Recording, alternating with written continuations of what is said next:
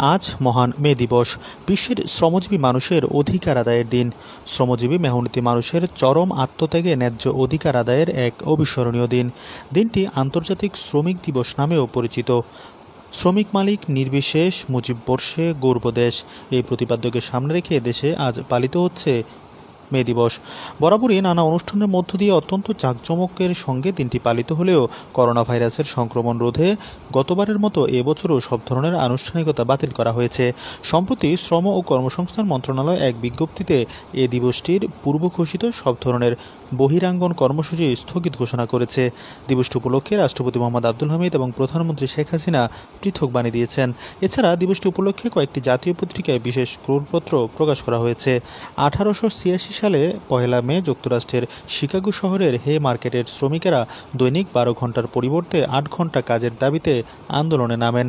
ওই দিন অধিকার প্রতিষ্ঠার আন্দোলন করতে গিয়ে কয়েকজন শ্রমিককে জীবন দিতে হয়। উত্তাল সেই আন্দোলনের মুখে কর্তৃপক্ষ শ্রমিকদের দাবি মেনে নিতে বাধ্য হয়। এরই পথ ধরে বিশ্বব্যাপী দৈনিক আট ঘণ্টা কাজের সময় চালু করা হয়। এরপর আঠারোশো উননব্বই সালের চোদ্দই জুলাই প্যারিসে অনুষ্ঠিত আন্তর্জাতিক শ্রমিক সমাবেশে এই পহেলা মেকে আন্তর্জাতিক শ্রমিক সংহতি দিবস হিসেবে ঘোষণা করা হয়। পরের বছর থেকে বিশ্বব্যাপী এই দিবসটি পালিত হচ্ছে।